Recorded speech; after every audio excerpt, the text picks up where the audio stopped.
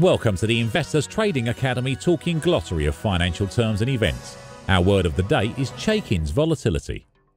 Chaikin's volatility is a technical indicator that measures price volatility. It does this by comparing the difference between a series of a security's high and low prices. In general, larger spreads between prices reflect greater volatility. Interpretations of Chaikin's volatility vary but many analysts believe that the changes in volatility are important indicators of potential trend reversals. Chaikin's volatility was developed by Marc Chaikin.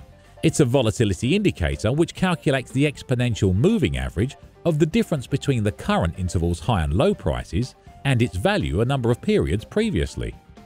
A sudden increase indicates a directional move, and over time, the current and historical exponential moving average tends to align which results in the Chaikin volatility indicator tending towards zero. The indicator fluctuates around zero, with high values indicating that prices are changing sharply compared to the recent past, while low values indicate that prices are stable and staying relatively constant. The default parameters used to calculate Chaikin's volatility indicator are 10 periods for the exponential moving average time frame and 10 for the number of data periods used to calculate the percentage change i.e. the rate of change period.